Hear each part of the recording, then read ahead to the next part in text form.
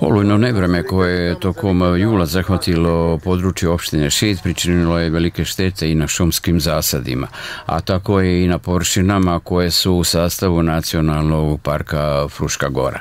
Mi smo na lokalitetu Lipovače kod Šida vidjeli kakve su štete pričinjene, a naš sagovornik bio je Tomislav Vidović, nadzornik šume. Stanje je katastrofalno, mogu reći. Šuma je dosta uništena, sve, svi putevi i staze su zatrpane. E sad mi pokušavamo već kako se to desilo u saradnju sa nacionalnim parkom, ovaj, upravnik i, mi šumari, organizovali smo se da se prvo očiste putevi, da se može prići vikendicama, da se može staza zdravlja kojom ljudi šetaju, ovaj, sad dosta je uklonjeno tih grana i stabala vrhova koji su polomljeni.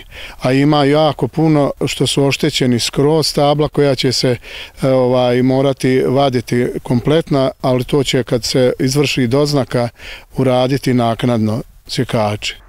Naš sagovornik ističe da se vikendaši koji su ovde na Lipovači neodgovorno ponašaju pošto su granje sa svojih parcela izneli do samog objekta na ulazku ovde u nacionalni park. Možemo vidjeti da eto vikendaši, ja bih ih zamolio još jednom, ja sam apelovo da ne bacaju otpadi svojih dvorišta što im je polomljeno, oni su doneli ovde, zatrpali su nam kartu, E, razumete, ne može to naći svakoga, ali to je stvarno strašno šta iznose sve na...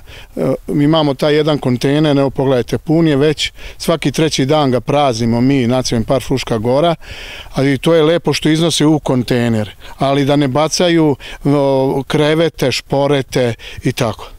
Prema dobijenim informacijama iz Nacionalnog parka Fruška Gora u ovom momentu teško je reći koliko će potrajati poslovi na saniranju i uklanjanju šteta koje su pričinjene na šumama u sastavu Nacionalnog parka Fruška Gora.